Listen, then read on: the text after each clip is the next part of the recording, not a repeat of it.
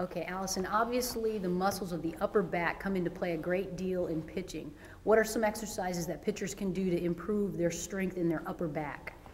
All right, I think the best thing we can do for the upper back and rhomboid area, the area between the scapulas, is called a back fly. So what we're going to have Deanne do is, is bend over and support, her, rest her chest on the top of her legs.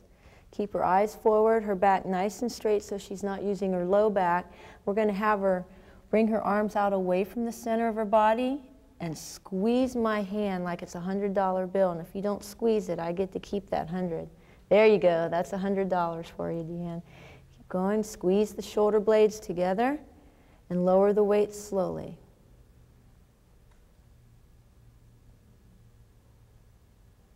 Okay, that's great.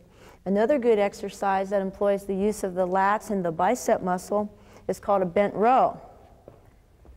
And what we want to do is rest our knee and hand, get a little bit more square. Our knee and hand are resting on the bench. Again, you can see a nice straight line in the back. She won't use this area at all. Get nice and square for me. There you go. Head in line with the spine, and just pull the elbow high up beyond the midline of the body and lower slowly. You'll get the posterior shoulder, the lat muscle, the bicep muscle, and some rhomboid action here.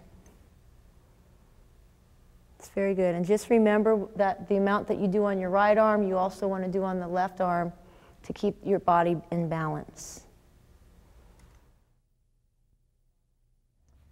Allison, one of the large muscles in the back that's used quite often in pitching is latissimus dorsi. It's used especially from the arm at full extension down through the release point, which is the most explosive phase of the pitch that we've talked about.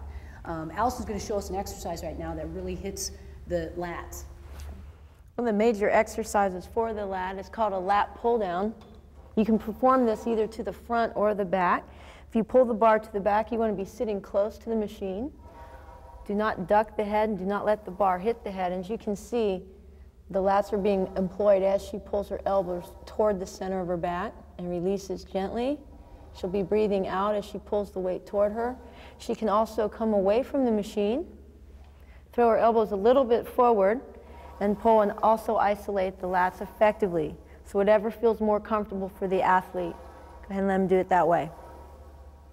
So you're saying that the exercise can be performed in front of the head, Head. as well as mm-hmm. behind the head. As long as you hold the back stable as you move away from the machine and you're not swaying your back back and forth. As you notice, Deanne's in a nice, stable, upright position.